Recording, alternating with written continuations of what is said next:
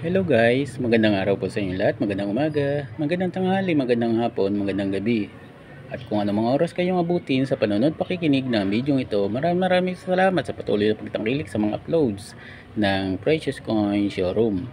Sa mga hindi pa po nakakapag-follow, please follow pa update naman po kayo patungkol sa mga coins na inyong iniingatan at inaalagaan. Dadako na po tayo sa pag-uusap natin ito ang patungkol sa 2019 20 piso New Generation Currency Coin. Ang bariyang ito na nasa inyong harapan ay International Best New Coin Award finalist ng CNN Philippines at Bangko Sentral ng Pilipinas na publish noong January 5, 2022. At ang bariyang ito ay may composition na bimetallic. Ito po ay nickel plated steel in bronze plated steel ring. Ito yung nickel plated steel at ito po yung bronze plated steel ring at ang bariyang ito ay tumitimbang ng 11.5 gram at meron diameter o luwang na 30 mm at meron thickness na 2.2 mm at kanyang edge ay plain with BSP inscripted text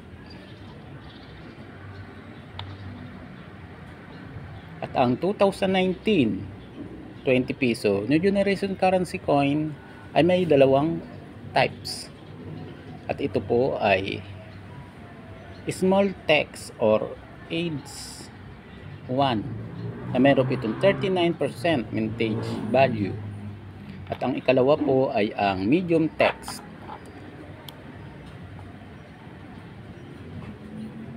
age 2 at meron po itong 3% mintage value.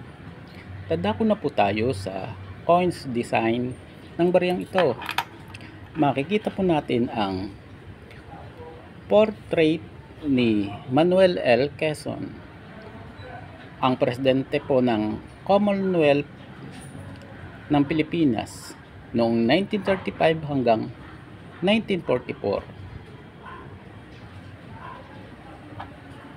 ito po siya na nakaharap po siya sa bandang pakanan ng patagilid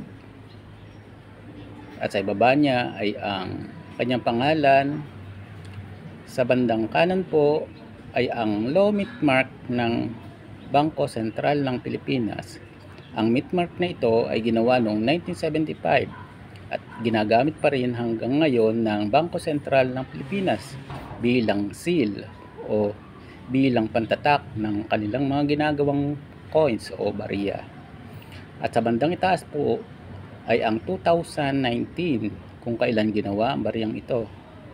At sa bandang right side ay ang denomination na 220 piso.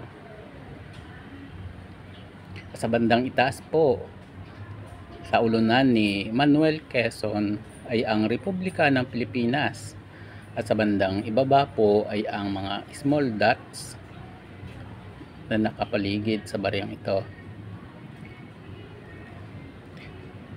Dadako na po tayo sa kanyang reverse side or tail side.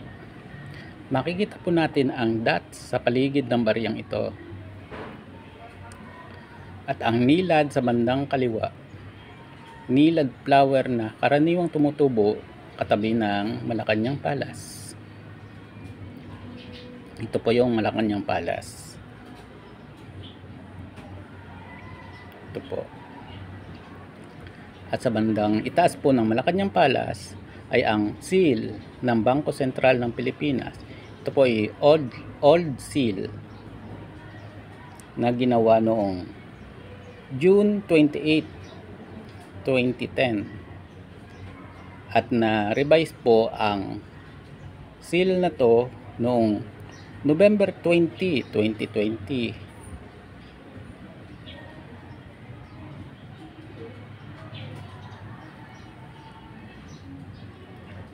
At hanggang dito na lang po at muli, huwag po nating kalimutan, higit sa anumang bagay, ang taong sumasagana sa mabubuting gawa, nag-aani ng awa ng Diyos na dakila. Salamat po.